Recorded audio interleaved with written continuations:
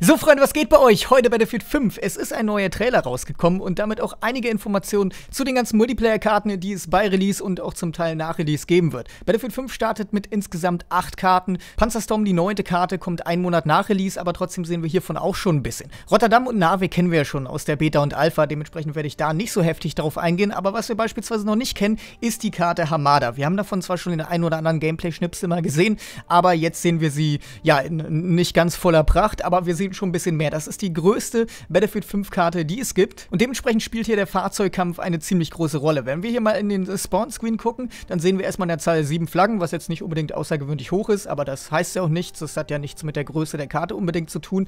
Aber was wir noch sehen, sind hier zumindest vom Start aus nur zwei Panzer und zwei Flugzeuge. Allerdings davon sollte man sich jetzt nicht abschrecken lassen, falls sich jemand davon abschrecken lassen hat. Denn man kennt es ja aus Battlefield, vor allem bei solchen großen Karten, dass wenn man bestimmte Flaggen einnimmt, dass man dann auch bestimmte Fahrzeuge Fahrzeuge bekommt. Hier ist es, glaube ich, so, dass wenn man G einnimmt, bekommt das Team, was G hält, dann ein Flugzeug. Dazu gibt es ja noch das Reinforcement-System, dass man sich mit Squad-Punkten eigene Fahrzeuge und Panzer reinrufen kann. Dementsprechend sollte das hier definitiv nicht zu kurz kommen. Und was eventuell zu kurz kommen könnte, wobei es nicht so aussieht, ist der Infanteriekampf. Denn ja, man kennt es von so riesigen Karten. Die Hälfte sniped irgendwie rein, die andere Hälfte sitzt in Fahrzeugen und der Rest versucht irgendwie was Nützliches zu tun, aber es ist dann halt recht schwer, weil man dann relativ alleine damit ist. Aber wenn man sich mal die einzelnen Flaggen Flaggen so anguckt oder auch die Wege zwischen den Flaggen, so beispielsweise da A, B, D und C, dann sieht man, dass das eben nicht so der Sinai-Style ist, von wegen alles offen, hier ist Sand und ja sonst nichts und hier sieht man, dass es eben nicht so ist. Auch wenn man sich die einzelnen Flaggen anguckt, dann wird da schon ziemlich viel mit Deckung, unterschiedlichen Ebenen und Höhen gearbeitet und so weiter. Das ist ganz nice, aber wie es sich denn spielt, das werden wir sehen,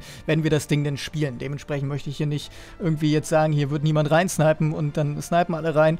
Ich denke mal, hier wird gut reingesniped, vor allem da oben, von oben nach unten und so weiter. Das eine Team ist oben, das andere unten, dann wird da richtig hart reingesniped. Aber das werden wir einfach mal sehen. Ich denke, man kann hier auch gut mit, ich sag mal, normalen Waffen spielen, also nicht nur Sniper. Ich glaube, hier kommt man damit auch gut klar. Freunde, weiter zur nächsten Karte und das ist Devastation. Das ist kein Abklatsch von Rotterdam. Es spielt auch in Holland und am Anfang oder so, so mit der Zeit, mit den Trailern und so weiter und auch später haben viele Leute gesagt, ja, das ist einfach nur Rotterdam in zerstört. Aber das ist nicht so. Das ist klar, das spielt auch in Rotterdam, aber in einem ganz anderen Abschnitt. Hier ist nichts mit der Brücke und so weiter. Das ist ein ganz anderer, ganz anderer Teil der Stadt, dementsprechend nicht mit der Rotterdam-Karte zu vergleichen. Es gibt ja eine riesige Kirche in der Mitte der Karte, wo man auch, soweit ich weiß, auf die unterschiedlichen Ebenen hoch kann. Hier gibt es keine Flugzeuge, hier herrscht nur Infanterie und Panzerkampf. Es soll eine sehr schnelle Karte sein, also ja, ich, ich würde einfach mal so sagen, also wenn, wenn ich so von oben mir angucke, fünf Flaggen, so, der Mittelpunkt ist die Kirche, man kann auch links und rechts vorbei. Vielleicht kann man es ganz gut irgendwie, vielleicht sogar mit Walter Ergon oder so in, in, im Stadtstyle vergleichen. Also es sieht zumindest so aus, weil halt in der Mitte alles aufeinander prallt. Es gibt links und rechts noch zwei Wege außenrum, aber sonst nicht wirklich viel. Eine Stadtkarte im Walter Ergon-Style, zumindest sieht so von oben halt her aus. Die nächste Karte ist auch eher auf dem Bodenkampf fixiert. Auch wenn Aerodrom auf einem Flugplatz spielt, gibt es hier keine Flugzeuge. Es gibt Panzer und Infanterie, insgesamt sechs Flaggen, ausgeglichen. Dementsprechend wird so zwischen C und D alles aufeinanderprallen. Da ist ja auch alles zerstört. Trotzdem, dass es von oben so ein bisschen offen aussieht, gibt es da eine Menge Deckung in Form von kaputten Fässern und Flugzeugen, die da rumstehen. Ja, was ich bei diesen Karten immer so ein bisschen befürchte, vor allem weil es davon gleich noch eine gibt, ist, dass der Fahrzeugkampf, es gibt ja nicht nur die Panzer, hier zwei pro Team, sondern es gibt auch noch Transport Fahrzeuge zusätzlich und es gibt ja noch das Reinforcement-System. Die Karte ist von sich aus nicht so groß, dementsprechend zwei Panzer pro Team, optimal gar nichts dran auszusetzen, aber wenn dann vielleicht noch pro Team nochmal zwei zusätzliche Panzer dazukommen, plus eventuell Transportfahrzeuge, dann nimmt der Fahrzeugkampf auf so einer recht kleinen, eigentlich infanteriebasierten Map schon ein bisschen überhand. Ich meine, es ist richtig geil, wenn so jedes Team irgendwie zwei Panzer hat und wenn man die dann erledigt, dann merkt man das auch so beim Spielen und hat so ein bisschen die Übermacht, aber wenn die Fahrzeuge denn äh, zu viele werden, werden, so die einen campen da hinten rum, die anderen fahren rein und so weiter, dann, ich, ich denke, ihr wisst, was ich meine, wenn es auf so einer Infanteriekarte zu viele Fahrzeuge gibt. Ja, da, da habe ich immer so eine kleine Befürchtung, aber sonst, ich denke, auf die Karte kann man sich absolut reinhypen. Vor allem ich halte mich auf diese Panzerinfanteriekarten extrem rein und dementsprechend die nächste, hier gibt es zwar keine Panzer, das ist Fjell 652, hier gibt es Infanterie und Flugzeuge. Keine Panzer, dafür Flugzeuge. Die Karte ist, glaube ich, mit die kleinste, zumindest von den Flaggen her. Es gibt insgesamt fünf Flaggen und es spielt absolut im Schneegebiet, beziehungsweise im Gebirge. Jedes Team hat seine zwei Flaggen, A, B und E und D und in der Mitte ist dann die C-Flagge. Wobei ich hier gar nicht glaube, dass das hier bei C alles aufeinander prallt. Das ist so ein kleines Dorf da drüben,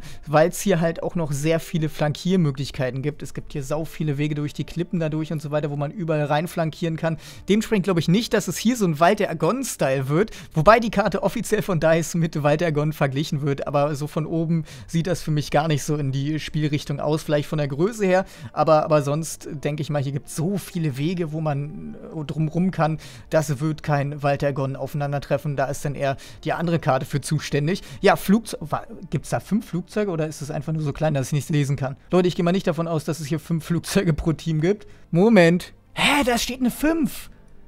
Als ob es hier fünf Flugzeuge gibt. Ist an der Stelle was Neues, aber kann auch sein, dass DICE das so machen möchte, weil es eben so viele Flugzeuge gibt, dass die Flugzeuge dann gar keine große Möglichkeit haben, auf die Infanteristen zu gehen die ganze Zeit und die halt sozusagen wegzufarmen, weil es halt immer gegnerische Flugzeuge am Himmel gibt, die halt dazwischen funken.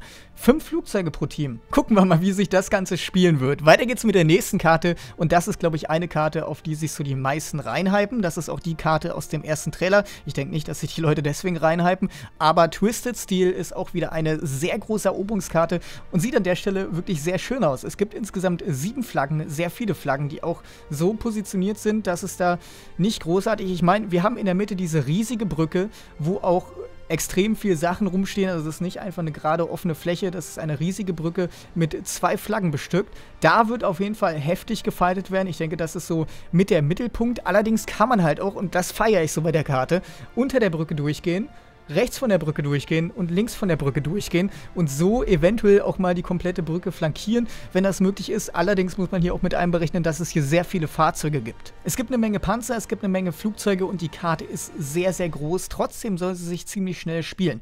Ich glaube, entweder man liebt die Karte oder man hasst die Karte. Ich glaube, damit kann man das Ding wirklich ziemlich gut beschreiben. Wem Twisted Steel trotzdem zu wenig Fahrzeuge hat, dafür ist die Panzerstorm-Karte da, die circa einen Monat nach Release ins Spiel kommt. Oder ein paar Wochen, glaube ich, im Dezember Dezember kommt sie auf jeden Fall ins Spiel. Und dazu habe ich ja schon ein paar Informationen rausgehauen. Dazu gibt es jetzt neue Informationen. Und zwar gibt es pro Team sieben verschiedene Panzer, drei verschiedene Reinforcement-Slots, womit man auch nochmal Fahrzeuge ins Spiel rufen kann. Und dann noch pro Team drei Flugzeugplätze. Also gibt es insgesamt 26 Fahrzeuge auf dieser Karte. Das ist abnormal. Ich glaube, gab sowas schon mal. Jeder, der auf krassen Fahrzeugkampf steht, der wird hier definitiv seinen Spaß mit haben.